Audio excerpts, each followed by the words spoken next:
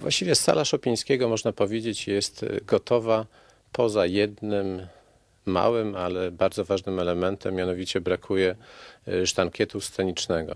Cóż, cóż to jest sztankiet y, sceniczny? Jest to taki wyciąg dekoracyjny o konstrukcji metalowej, automatyczny, opuszczany y, za pomocą specjalnych urządzeń do odpowiedniej wysokości, na którym zawieszone są urządzenia nagłośnienia oraz światła. A ponieważ w sali Szopińskiego stosujemy najnowocześniejsze urządzenia nagłaśniające i świetlne, niemożliwe było po prostu oddanie obiektu do użytkowania bez tego elementu. A dlaczego nie ma tego elementu? Otóż życie jest niestety brutalne i okazało się, że podwykonawca, który miał wykonać właśnie te sztankiety, tragicznie zginął w wypadku i miało to miejsce w połowie lipca. Okazało się, że ten sztankiet był już zamówiony, był na miejscu. No niestety ten wypadek losowy spowodował, że nie można go było po prostu zamontować.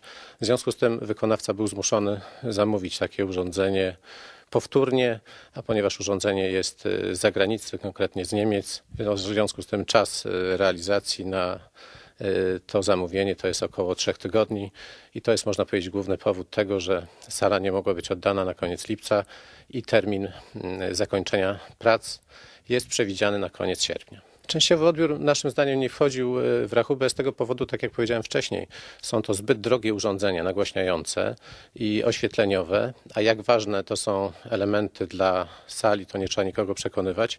Tutaj muszą się w związku z tym odbyć odpowiednie próby, zarówno audio, jak i też świetlne, żeby zobaczyć, czy sala spełnia wymogi.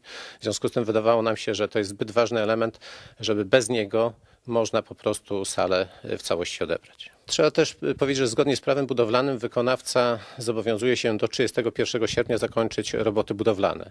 Wtedy zgodnie z procedurą jest zgłoszenie tych robót do odbioru końcowego. Potem jest 14 dni na ewentualne usuwanie usterek i w takim momencie muszą się wypowiedzieć jeszcze służby, czyli Straż Pożarna, Państwowa Inspekcja Pracy, Sanepid i mając te wszystkie zezwolenia występuje się do inspektora nadzoru budowlanego powiatowego o pozwolenie na użytkowanie. Można powiedzieć, że dzisiaj na sali trwają właściwie prace porządkowo kosmetyczne. Jak widać na, na zdjęciach, właściwie sala jest gotowa. Niewiele się dzieje, bo tak jak powiedziałem, zasadniczym elementem, którego brakuje jest ten sztankiet sceniczny.